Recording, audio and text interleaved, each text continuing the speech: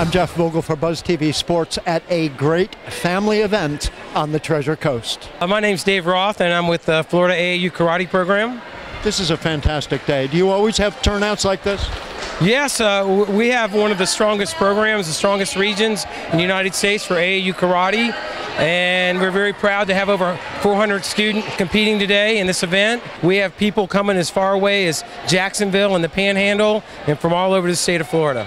We have uh, competition divisions for all levels of experience. They're allowed to compete as young as five and we even have some 35 and up seniors divisions, which are very competitive. Parents have really got to appreciate the effort that goes into something like this. Oh, absolutely, and we appreciate the parents too because we need their support to bring these athletes and to get them to all the events. And you know, we're all about you know preaching you know good discipline and respect and sportsmanship, and we want our athletes to be the best, but we also want them to have uh, you know good sportsmanship and have great character. Could I get your name? Pam Mays. Why are you here today? My son is competing in the 13-14 uh, green belt division for, uh, and he's number one in the state right now for all around. And you are? Chris Kelty.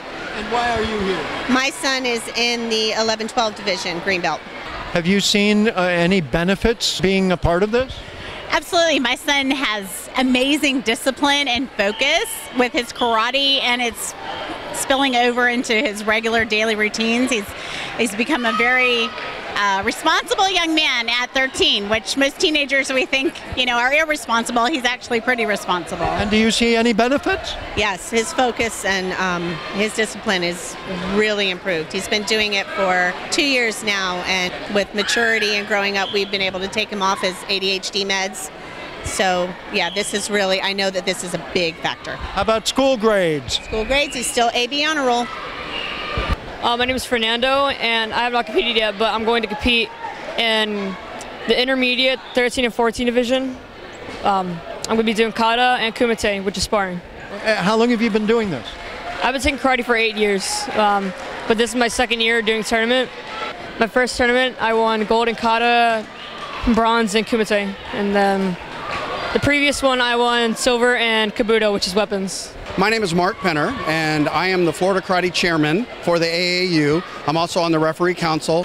The thing about it is the discipline that they learn, the coordination they learn. Karate helps them in any sport they do. The concentration, the focus, the discipline, the self-control, self-esteem, building up their desire to be good at whatever they do is really important. I'm Sydney, and I'm competing in kata and kumite in the intermediate 13 to 14 category.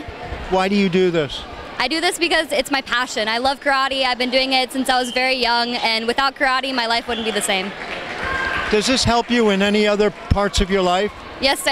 I, it helps me with discipline throughout school, and it helps me to be able to have time management skills, of course. And you enjoy it? Yes, sir. I love it.